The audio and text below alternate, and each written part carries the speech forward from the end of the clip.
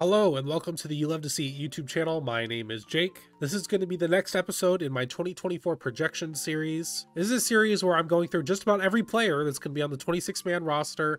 I'm talking about how they did in 2023 and what they're projected to do in 2024 per Zips. And if you don't know what Zips is, it's a software made by Dan Szymborski. You can go follow him on Twitter that predicts players' future successes based off of underlying metrics. What those metrics are, I don't know. I'm not that smart.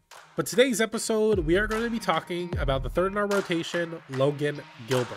26 year old Logan Gilbert. Logan Gilbert out of the gate strong. Knocks him up on the edge. Swing and a miss. A new standard for Logan Gilbert. He struck him out. Logan, I would say, had a pretty good year in 2023. Logan's 2023 ended up with a stat line of a 13 and 7 record, 190.2 innings pitched, a 3.73 ERA, 3.2 FWAR, 1.08 whip, and 189 strikeouts. You may disagree with this statement, and that's fine, but I personally think in 2023 I felt more comfortable with Logan Gilbert on the mound than Kirby or Castillo. And the reason why I say that is from Castillo and Kirby, I felt a very much of a Jekyll and Hyde type of thing going on with them where they would have some good starts, but they would be coupled with pretty bad starts. And it felt to me that Logan was our most consistent at the end of the day throughout 2023 which is a pretty decent season if I do say so myself. He didn't have quite the ERA to stand up to like a Kirby or Castillo. His whip is right around Castillo and Kirby, so it's pretty respectable. He ended up having a bit more strikeouts than Kirby as well, which makes sense because Kirby, they were just being really aggressive. They knew he was going to throw strikes. Whereas Logan has a bit more stuff than Kirby does, just with less command and control. So it's kind of natural that that person's going to have a bit more strikeouts. But overall, I think Logan had a pretty decent season. He improved at the end of the day, which is what you want to see from a young and developing pitcher like George Kirby is. We got a good handful of our Walter starts. I was thankful to see one on August 26th against the Royals. And I really hope that Logan sticks with it the long term. I think he's going to be a very valuable piece of a rotation for hopefully a long time to come.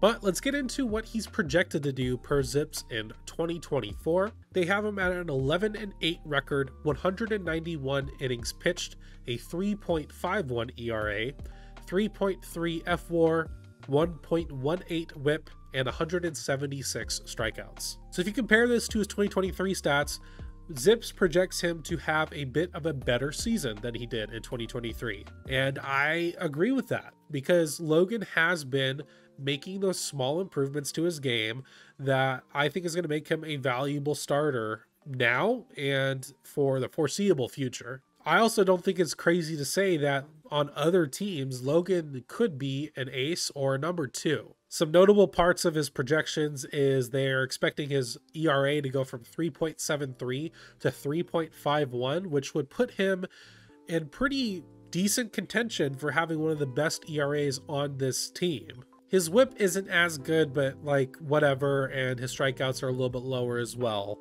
The big thing to look for is the splitter. He didn't have it in 2022, but in 2023 he added it to his arsenal, and it was pretty a pretty tremendous pitch for him. The pitch boasted only a 175 batting average against and a whiff rate of 34.7% and a 46.3 strikeout percentage. So I'm excited to see what that pitch alone is going to bring for us this year.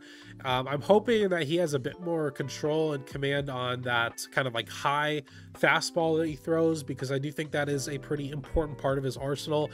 It seemed to be uh, missing quite a lot last year. So hopefully, if he can find the top end of the strike zone with that on a pretty consistent basis, he is going to be a dangerous pitcher to go up against. And I think this projection is accurate at the end of the day.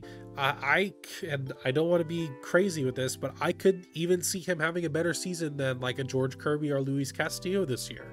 And that's in the sense of his consistency because we didn't really have that with Castillo and Kirby last year. Whereas Gilbert, I feel, is a little more consistent pitcher, and I think that's going to pay off for him this year. At the end of the day, I don't not saying he will for sure be better than them, but I wouldn't be surprised. Maybe we'll even have him in some Cy Young talks. That would be amazing. If we could have our top three all in like Cy Young contention or at least in the conversation, we're going to be lethal. But that's going to be it for this video on Logan Gilbert. You can comment down below how you think Logan's going to do. I would love to know your opinions on Gilbert for 2024. But that's going to do it for me today. Once again, you can subscribe to the channel and leave a like. I appreciate it very much and it helps the channel out a lot. And it's free. I will see you in the next episode, which is going to be on Bryce Miller. That's going to be it for me and I will see you next time.